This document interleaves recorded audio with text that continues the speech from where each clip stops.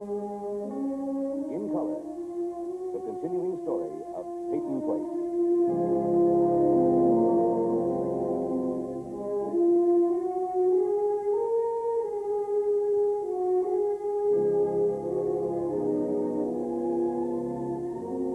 Starring Ed Nelson as Michael Rossi, Ryan O'Neal as Rodney Harrington, Barbara Parkins as Betty Anderson, Christopher Connelly as Norman Harrington, Patricia Morrow as Rita Harrington, James Douglas as Steven Cord.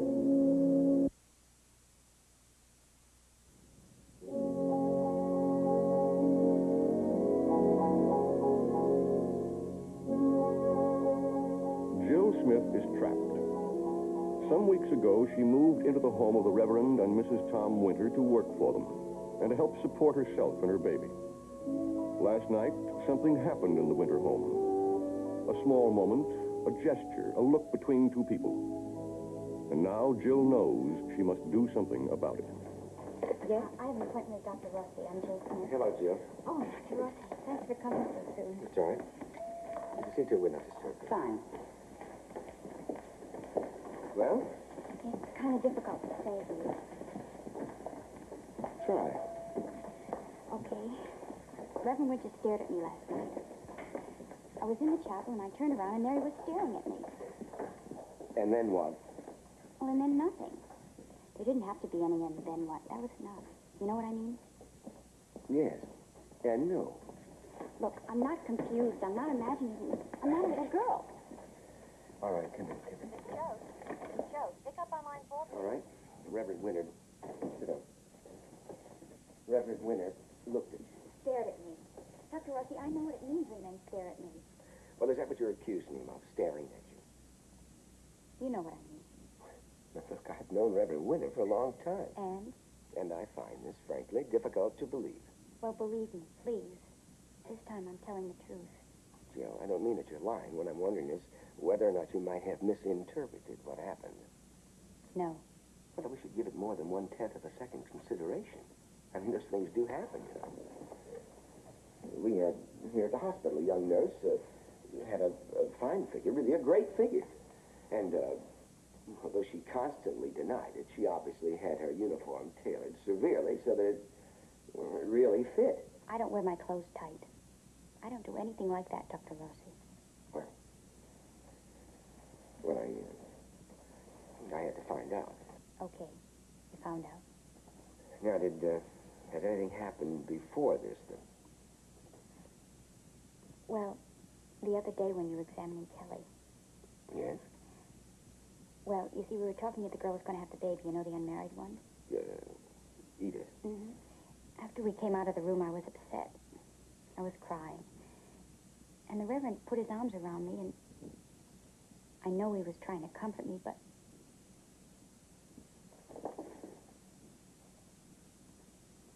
Well, I'll, um, I'll have a talk with him. Well, that is what you wanted, isn't it? For me to talk to him? sure. Sure. Well, could you talk to him without Without what? without accusing him of anything? I don't want to hurt him or his wife. Are you concerned about his marriage? Of course I am. Well, I'm not going to do anything that, that you don't want me to do. Look, Dr. Rossi, I know I seem like I'm mixed up, but you're the only person I can talk to. Well, I'm responsible for you living in the winter home, and I introduced you to Tom, so maybe it's time for you to move. No, I want to keep my baby. And if I move back to the boarding house, the Child Welfare Board won't let me. Please, Dr. Rossi. Please talk to him. All right.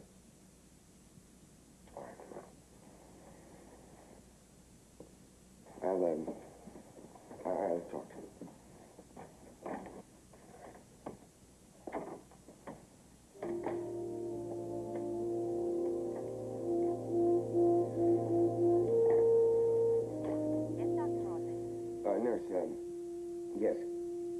If you see uh, Reverend Winter around the hospital today, would you ask him to stop by my office? I'd like to talk to him.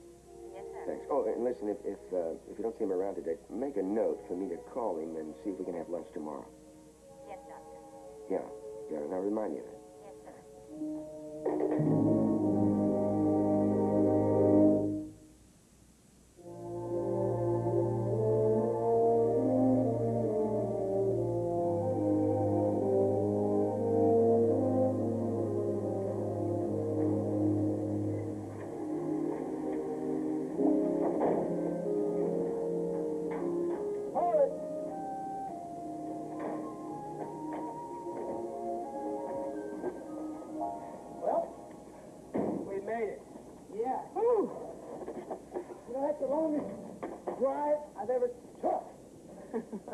Listen, I was flat on it all the way. Yeah. On tires to the accelerator. Like I said, we made it, didn't we? Yeah. We'll find out. Hey, man, what's happening? What have you been doing, Dennis? Hey, where'd you guys start this? Just a little while ago? Hey, are you guys going to get any of those new 250s? You're looking at them. Hey, when are you going to put them up for sale? So we can get a price tag on them? Well, what are they going to go for? Here, Rod, show them that. Yeah, this will tell you. Hey, let me see that. Thanks. Listen, uh, after we get them off and gassed up, why don't you come over this afternoon, take a ride, huh? Yeah. Hey, that's great. Hey, that's a deal. We'll see you later. Okay. Bye-bye. Bye-bye.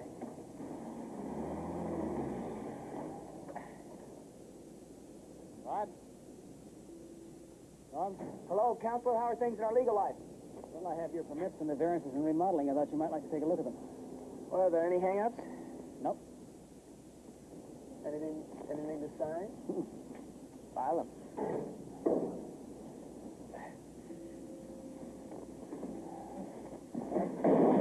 Oh, brother.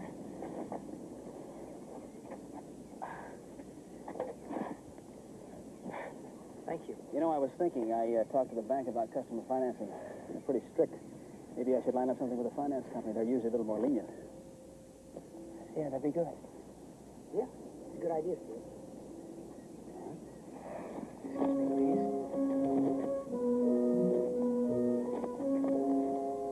Well, I'll see you. Bye, Steve.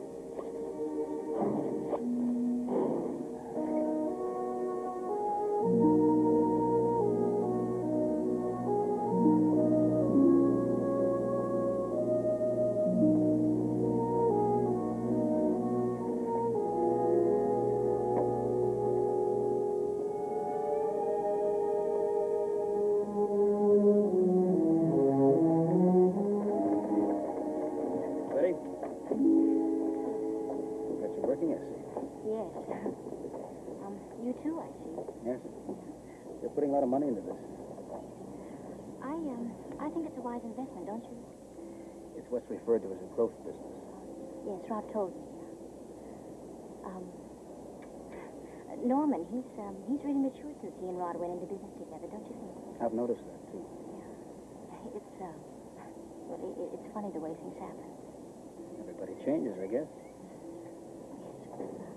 Well, I'd better be going. They should be back soon. They are. Look, Betty, uh, you know, with the divorce rate being what it is today, it's quite normal and natural for the two of us to be seen talking together in public. I didn't say it wasn't, Steve. But you're so comfortable. I am. You don't have to be. Business is business. Was nice talking to you. Know, my secretary finishes and I'll have some papers for Rod to sign tonight, and I'll need a signature before I file them in court. If the two of you aren't doing anything tonight, I'll drop them by. No. No what? You're not going to be home tonight? No, I don't want you to drop by tonight, Steve. I don't want you dropping by tonight or any other night. I told you I have to file the papers the first thing in the morning. Right. Well, you come to the garage the first thing in the morning, you get Rod's signature, and then you take the papers to court and file them. And if there's any problem at all, Steven, you can blame it all on me. It didn't take you long to lose your cool, did it?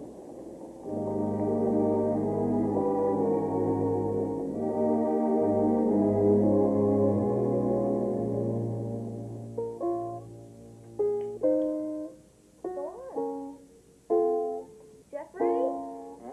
Go on, go on. Oh, uh, the first known baton was a rolled-up hunk of paper called a solfa, or short stick. And it was first used by the conductor Lully in, um, 1687. yeah, yeah, 1687. Well, anyway, Lully used to conduct by beating along staff on the floor.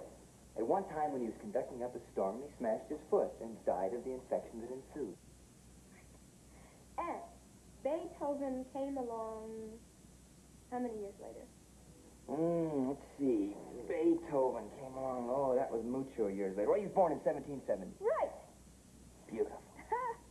You haven't gotten Beethoven's birthday right in years. Rejoice and have mercy. Okay, party's over. How did Beethoven conduct?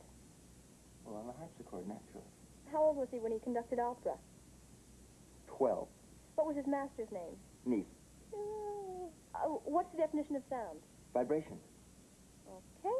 Who, in 1672, in what city, broke 25 glasses in 30 minutes by vocalizing and thereby proving that sound is vibration? Well, the city was Kiev. Kiel. What was his name? Uh, you know what? The next protest sign I make is going to read, uh, Down with teachers who ask who in 1672 in what city could shatter 25 glasses in 30 minutes by vocalizing. I believe I remember that. Look, your mother remembers. Well, thank you, Jeff, for not saying even your mother remembers. I'm sorry, that's what I meant. Oh, it was. What was the man's name? So long they've been teaching the same dribble. Jeff, that is a tactless thing to say. I'm criticizing its decadent, degenerate educational system, Mrs. Russell. I didn't mean it to be personal. Oh. Do you know the man's name or don't you? No. Yes. Mother, No, no, uh, let her play. Go. I believe his name was Albrechtsberger. Albrechtsberger. Mrs. Russell, everyone knows that Marilyn Albrechtsberger was a ballerina. Johann Albrechtsberger was Beethoven's teacher. Are you sure? Of course. I think you're wrong. Both of you. Music appreciation was one of my favorite courses. Because in that class I sat next to Richard Harrison. I would have endured anything to sit next to Richard Harrison. Mrs. Russell, do you know who could shatter 25 glasses in 30 minutes by just singing? In 1672. I remember we all gathered at the local drugstore, and we all screamed our lungs out, trying to shatter one thin glass. And I remember Richard Harrison. And I remember how silly I thought it was to have to try to remember who could shatter 25 glasses in 30 minutes. Mrs. Russell, let me shake the hand that stared at Richard Harrison. My dear. You're kind of on our side, aren't you? She is, really. Then you feel sorry for us, right? Oh, the people I feel sorry for, Jeff, are your teachers. Hey, take it easy. Probably wrong number. Hello? Hello, baby. Can you guess who is calling? This is the man in your life. Mary, I still am? there's no one else. Then let's get together, baby. This afternoon? Yeah, around two, or is it two-ish? Like, uh, how would you like a stroll on the beach, baby? Sounds divine. Uh, a loaf of bread, a jug of wine, and you. And thou, And thou. Dad, How are you, honey? how are you? Looking forward to seeing my little girl. I'm looking forward to seeing my father. At two o'clock. Zap. Zap.